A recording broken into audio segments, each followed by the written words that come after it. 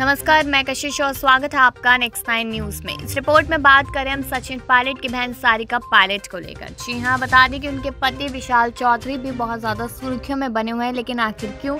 उस बात की जानकारी हम आपको इस खबर में देंगे।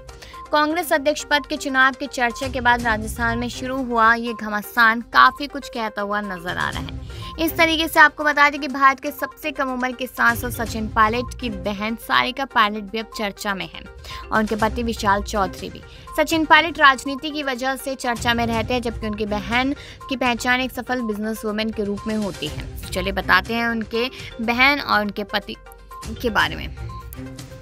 सारिका पायलट का जन्म 17 अप्रैल 1975 को उत्तराखंड के देहरादून शहर में गुजर परिवार में हुआ था।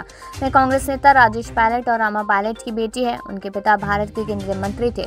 उनका पैतृक गाँव नोएडा के वैदपुरा है। सारिका पायलट की प्रारंभिक शिक्षा नई दिल्ली के वायुसेना बाल भारती स्कूल में हुई। स्कूल की पढ़ाई पूरे होने के बाद उन्होंने कॉलेज की पढ़ाई हिंदू कॉलेज में जारी रखी।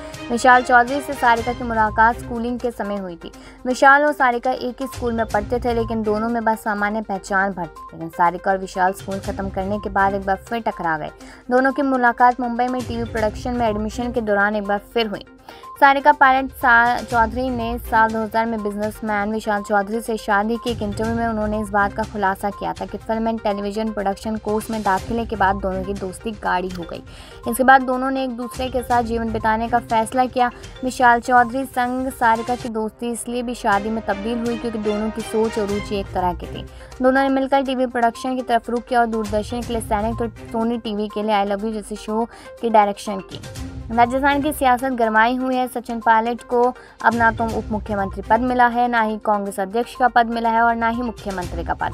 निजी जीवन की बात की जाए तो उन्होंने भी जम्मू कश्मीर के पूर्व मुख्यमंत्री फारूक अब्दुल्ला की बेटी और पूर्व सीएम उमर अब्दुल्ला की बहन सारा से शादी की थी।